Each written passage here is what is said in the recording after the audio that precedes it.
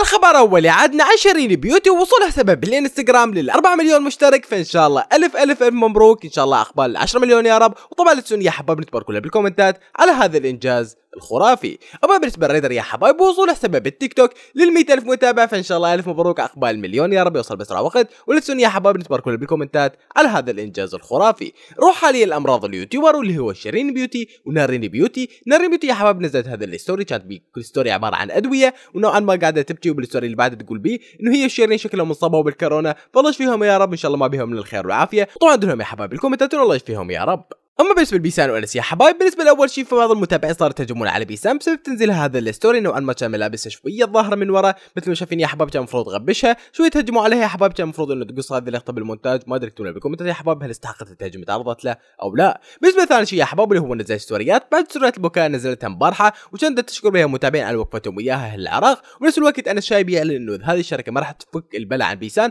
راح تسوي عليها تهجم بشكل مو طبيعي. راح تكون ستوريات شوفوها. حبايبي كيفكم شو اخباركم شوفوا مين فايق بكير أنا وأنس.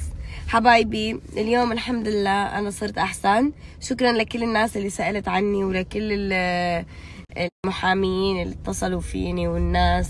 جد بشكركم أنتوا اللي بتقووني دائما بتخلوني إنه أتخطى أي شيء عم مر فيه صعب. آه المهم حاليا الحين نصور. بوعدكم والله العظيم إذا بأقرب وقت بس ما بتخلص لنعمل هجوم بال social media نخلي كل الدنيا تعرف فيه.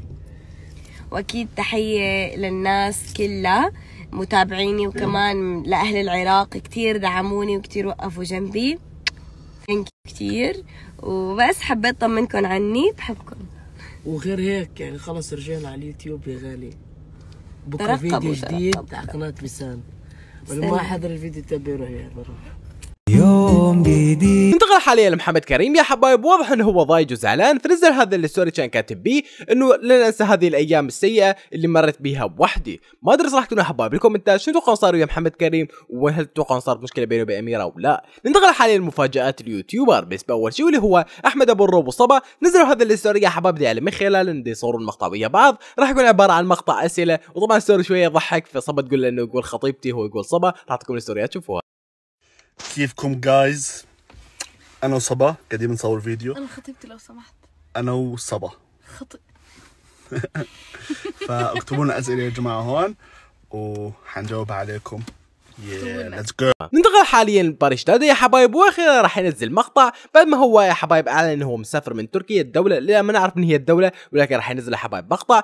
فكان المقطع كلش مهم. الساعة بالاربعه راح ينزل باكر فاكتبوا يا حبايب بالكومنتات إيش أنتم متحمسين لهذا المقطع. بس والله هنا وصلت المقطع. اتمنى عجبكم فجروا ضغطوا لايكات وبس. تنيكم في زي بخلفك القصص أحبكم. مع السلامة.